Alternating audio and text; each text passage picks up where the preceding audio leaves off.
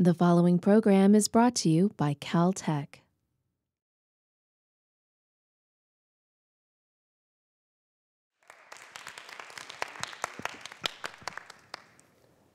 You suddenly awaken on Saturday morning and glance over at the clock. It's 4 a.m. You think, it's so early. What could have roused me? Seconds later, the answer becomes clear.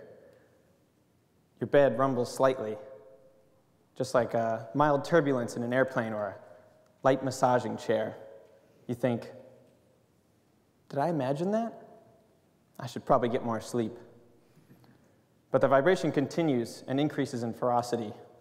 You glance over at your bookshelves. The books are becoming Mexican jumping beans, bouncing and rattling around, falling themselves onto the floor. The lights on the ceiling begin to flicker and swing violently. You jump out of bed through your crumbling room as, wind, as uh, pictures fall off the walls and furniture hops around. The whole world is bouncing. You dive underneath your desk and hang on and as you do, you manage a glance outside. The highway outside of your house seems liquid, rippling like waves on a pond. You hang on. 20 seconds later, the shaking stops.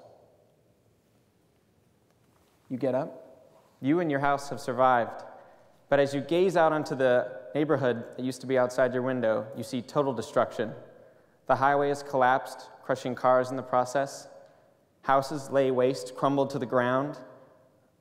Gas lines ruptured, flaming, spreading fire to the surrounding areas. The water mains that are broken won't be helpful in the days ahead, and the severed transportation lines will offer no rescue. The nightmare of the earthquake has only just begun. This is what it feels like to live through a major earthquake. As recent as 2011, the Tohoku Oki earthquake in Japan caused an estimated $250 billion of damage and 16,000 deaths. 16,000. And you're probably thinking right now, oh, I live in the United States, that's not going to happen here. But just know that the Los Angeles area is currently overdue for an earthquake seismologists are calling the big one that could feasibly kill thousands. Is this the price we must pay for living in tectonically active areas? Is there anything we can do to mitigate the risk of earthquakes? There is, and it involves triggering the very earthquakes we wish to avoid. Now, you're probably thinking, I didn't even know we could trigger earthquakes. There's no way that's going to help us actually prevent them. But humans are currently capable of this seemingly impossible wizardry. The ground beneath our feet is constantly in a state of stress. Tectonic plates grind against each other building up stress. Think about it like catching your backpack in a doorway. You, you grab the backpack and pull and pull and pull until, boom, the bag slides through and hits you in the face.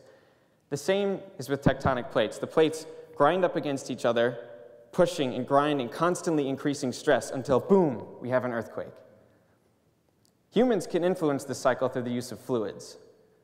Kind of like squirting some WD 40 into the fault and letting it slide a little more easily. What's actually happening is the fluid is pushing the walls of the fault to the side, relieving some of the pressure and allowing the, the fault to slide more easily. We've already drilled giant wells miles underneath the Earth's crust that allow us to inject fluid at a high pressure down into the Earth. And these wells can cause earthquakes in a couple of different ways. The first way is through hydrofracturing. You've probably heard of this. It's a way to get natural gas out of shale in the ground.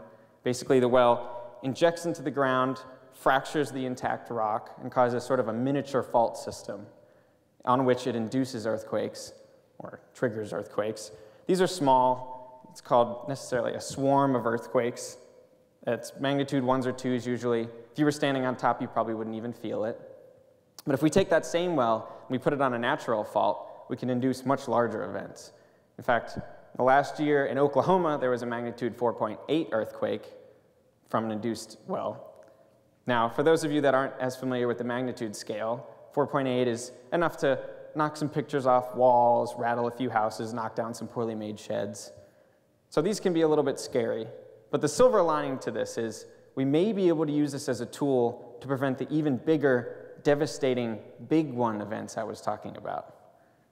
Everybody needs a little stress relief, and the Earth is no different. But it doesn't matter if the Earth has its stress relieved in several thousand small events or in one large devastating event. The idea here would be to take some of these wells and induce the several thousand small events to prevent the one big devastating event from happening. We can imagine a future where fault lines are lined with wells, constantly injecting fluid into the ground, gently massaging the stress out of the earth.